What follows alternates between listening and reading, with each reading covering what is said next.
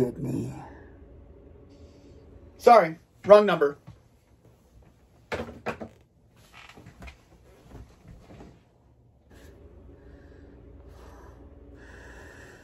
Damn it. Oh, gosh. Hello? Hello, Kyle. That's Kyle the 13th. To you, stranger. If you hang up on me again, I'll get you like a fish, understand?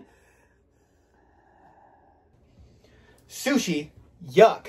Well, summer's okay. How can I help you? I want to play a little game. Well, I have some time to spare. Go ahead. All right. Hard trivia. Name the main villain from the Hellraiser franchise. Okay, well, he was supposed to be called Hell Priest, uh, but everybody knows him as Pinhead due to all the pins coming out of his head. Uh, he was also played, for the most part, by Doug Bradley, uh, but the last two movies he had two other people uh, take on the role, which they didn't do such a good job. Uh, but, you know, Doug Bradley is the guy. That should answer your question. Fuck. A horror fan. Yo, what's going on, fellow junkies? Horror Junkies 509, Kyle 13th, coming at you again today, you guys, and I'm back, you guys. Sorry about last week, you guys. I did have a video in the works, uh, but I was not able to complete it and upload it in time, you guys. You know, I always like to get my stuff out on Fridays, but me and Angelina were doing a video together, and just uh, time wasn't on our side, so... I'm going to get this one done now and upload it for you guys. And I will be getting that other video with me and Angelina up later this weekend. So you'll be getting two videos this week, you guys. I'm trying to make up for last week. I know I could never bring bring back time, but you guys, I'm happy to say that everything is good here. I'm hoping you guys are having a killer day out there. And uh, hey, you guys, it's Friday. Let's live it up because the weekend is here. I plan on getting a little bit drunk this weekend because it's going to be fun. All right, you guys. So, like I said, with an intro like that, you guys, like you just watched, I don't think I left anything to the imagination about what this video is about. So, beyond all the, uh, everybody, I hope everyone's hunky-dory out there because I know I am. Work's been going great, you guys. The new job. I'm getting into my flow of things. You know, I'm not anywhere near um, you know, a master, and I probably won't be for a while, but, you know, I'm definitely enjoying what I'm doing. Uh, so, that's enough of me, you guys. You know, I am, uh, I'm excited to be back with you guys. You guys know I love doing these videos, and I get to have a blast with you guys. So, like I said, the intro. Who was in it? I don't know. What's his name? Just kidding. All right, you guys. So we will be going over the Scream, the Ultimate Ghostface action figure, you guys. Uh, to kind of break it down, you guys, I do have other uh, action figures that are in front of this but they're kind of holiday related figures, you guys. So I have a couple Gremlins figures, and I got a couple Halloween, not the movie Halloween, but Halloween holiday related uh, videos. And a halfway point of Halloween is coming up, so I'm going to try and save those for that. And then the Christmas ones, I'm going to probably do at least halfway to Christmas video as well. Uh, doing those action figures, you guys, because they kind of have a tie to something. And then, of course, I want to do a video with uh, my next figure. I don't want to, I if you see, if you follow me on Instagram at Horror Junkies 509. if I can find my work today, you've seen it, but I'm kind of saving that because I want to make a special video for that, you guys. So I got a lot of great stuff coming on. So if you like what you see, make sure you like, comment, subscribe, hit the notification bell to let you know when you can come back and check me out again, you guys. Uh, I hope you liked my last video of the Boogeyman mask. You guys, one of my favorite masks. Uh, not crazy amount of views, so I guess it wasn't a very demand mask. But hey, you know what? I, I was in it for the fun, and I enjoyed making that video, you guys. Uh, so, since we're doing Ghostface, you guys, I just cannot open this box with my regular action figure knife. I have the screen used, obviously this exact knife was not used in the movie, but the screen used, the screen used Scream knife, which is, it, it is a uh, buck 120, you guys, so if you want to go get one of these, uh, they're very sharp. I've heard many people cut themselves. I haven't done it myself, but doesn't mean it won't happen. Just saying. Uh, so we'll go ahead and dig into this um, Ghostface action figure using the Ghostface Scream knife. Which, it's funny because some of the accessories I'm looking at, there he has like three knives in this thing, and not one of them look exactly like this, which is weird. Uh, but maybe it's a trademark thing. Because this definitely has the trademark on there, I think. Whatever it is. But yeah, buck 120 if you guys are interested in getting one. Uh, one of my favorite knives, you guys. So, like always, you guys, let's go ahead first check out the box. We got a cool picture of Ghostface on there, and it says Ultimate Ghostface action figure. On top says Ghostface. Side has a picture of him and says Ghostface. And uh, another side. And then uh, we got all the credits on things on bottom, just like you always do.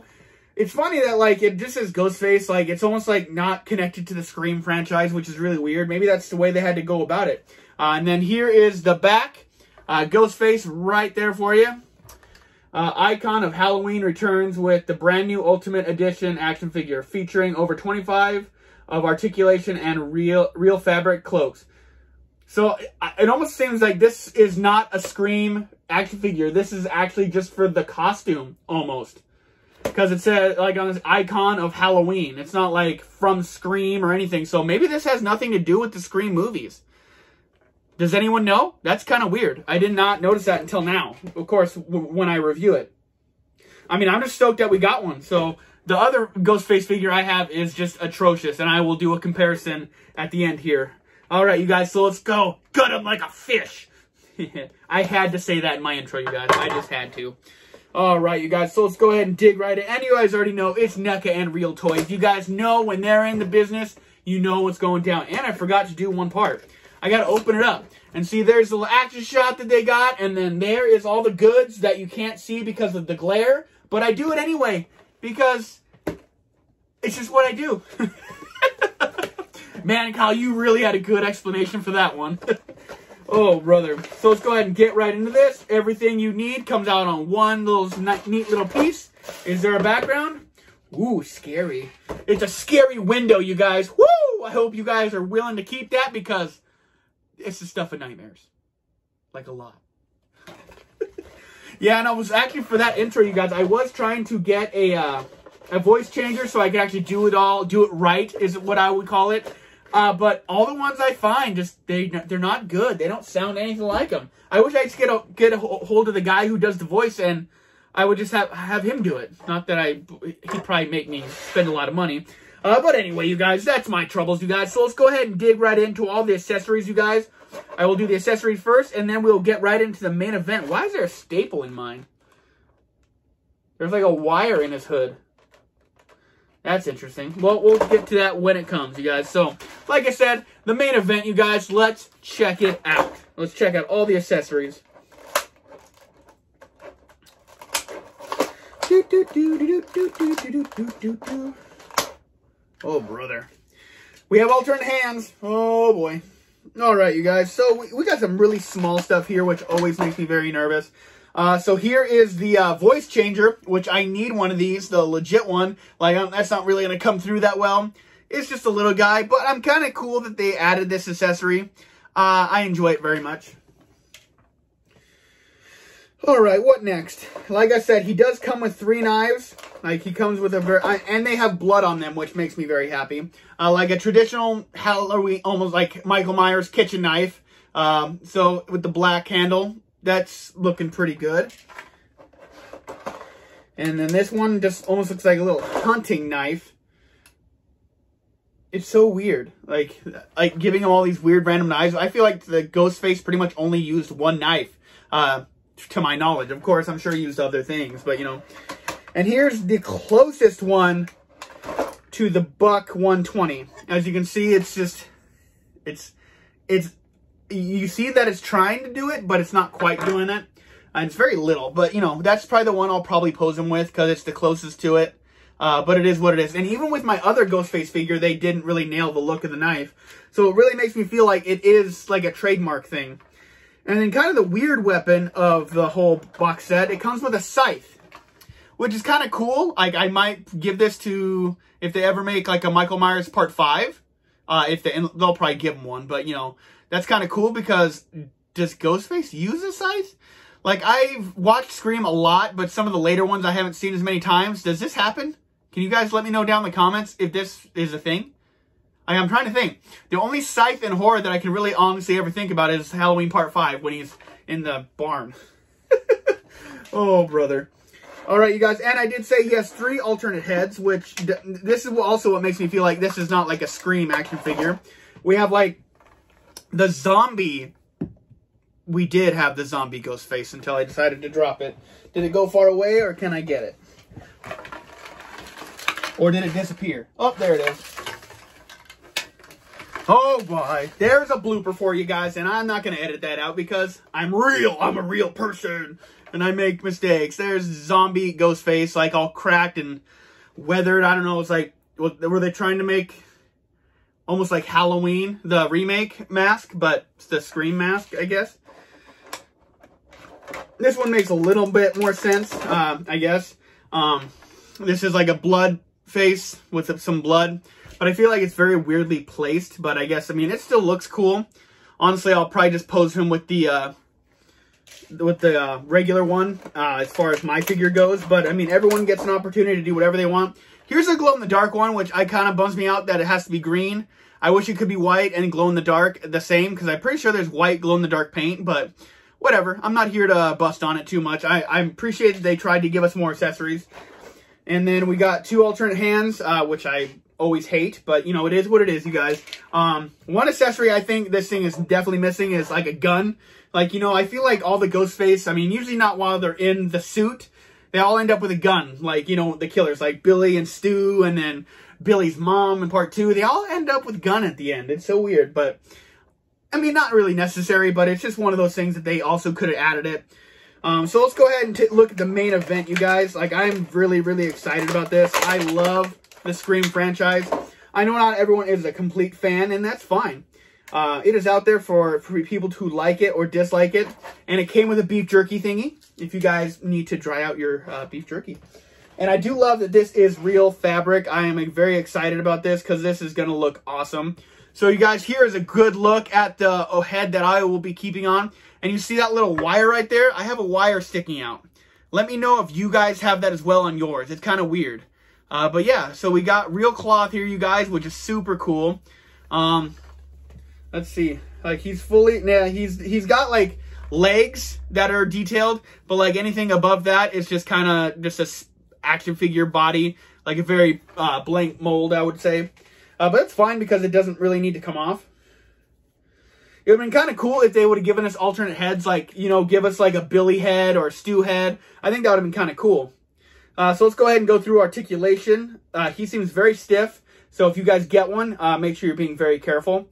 I can't tell elbows. He feels like he has a double elbow joint, uh, but I can't lift up the uh, the skirt or the, the cloak enough to tell. Um, let's see here. I'm trying to be careful with this guy because I really like him. I want, I, I need a ghost face, a legit ghost face, guys. And they definitely did not give him like the glittery um, cloak, like from the original Scream movie. So it really makes me feel like this is not like made for Scream. This is just a ghost face figure. And the hood comes off, so when you want to replace the heads, let's see how easy this is. Did they make it easy?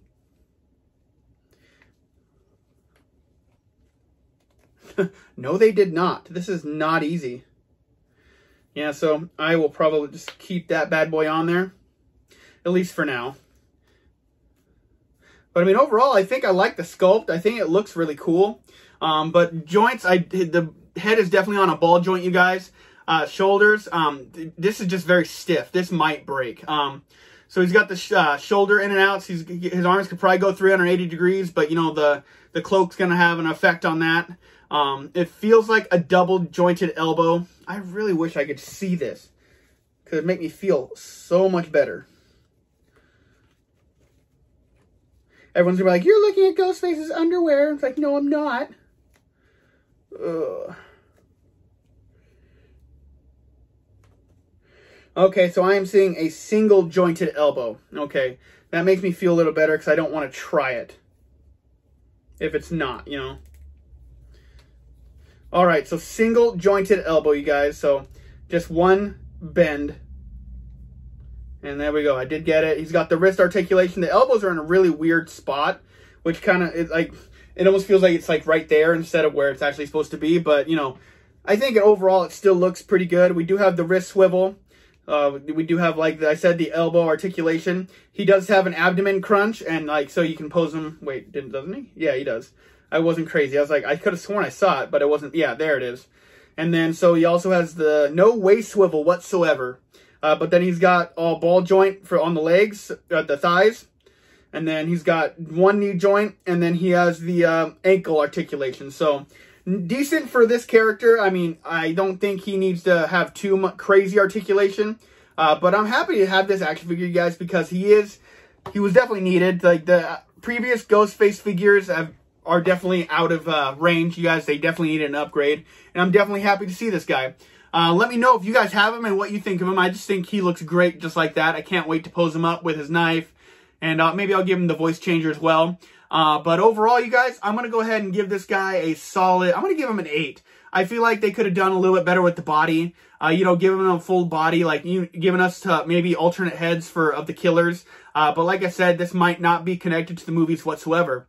Uh, but still, I think it's overall awesome. I'm definitely glad to have this. Um, if we want to get a comparison, this is the other Ghostface figure I have. He's very dusty, uh, but this guy can hardly move. Uh, it's all just hard plastic, but, you know, super glad to have him. This is a very needed upgrade uh, from this guy. This guy's not going anywhere, but, you know, just is great, you guys. I give it a, an 8 out of 10. And uh, yeah, if you guys have anything else you want to know about this action figure, you guys, let me know down in the comments, and I will get make sure I get back to you. I will try and show off the rest of this stuff uh, a little bit better in the pictures at the end here. But um, as far as I'm concerned, this figure, pretty awesome. Very stiff, so be very careful. Um, don't want to be breaking them like I probably will at, at some point. But articulation is what he needs. The accessories are good, but yeah, I definitely don't think this is connected to the movies in any way, any way shape, or form. But if you guys know, let me know. So 7 out of 10 for me. Horror Junkies 509 signing out just until next time, you guys. And you already know it. I've been sentenced to life. I am a horror lifer, and you guys have a killer day. And always, I've been forgetting this lately. I give this action figure a solid. Um, I don't know. Maybe uh, maybe I'm wearing rose-colored glasses because I am really excited about this, but I am forgetting to do uh, the stand test. Let's just see what we got. Put his little accessories over here.